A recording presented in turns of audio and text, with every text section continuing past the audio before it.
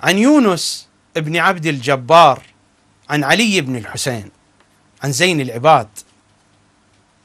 قال قال رسول الله صلى الله عليه وآله ما بال أقوام إذا ذكر عندهم آل إبراهيم فرحوا واستبشروا وإذا ذكر عندهم آل محمد اشمأزت قلوبهم. اللهم إنا نعوذ بك في هذا الشهر الشريف أن نكون من هؤلاء.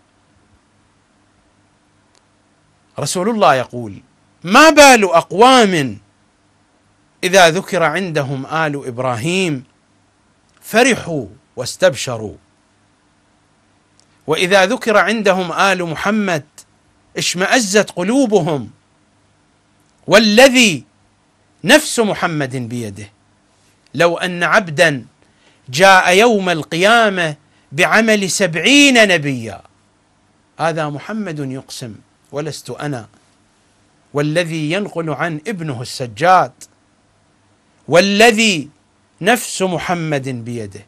لو أن عبدا جاء يوم القيامة بعمل سبعين نبيا ما قبل الله ذلك منه حتى يلقاه بولايتي وولاية أهل بيتي.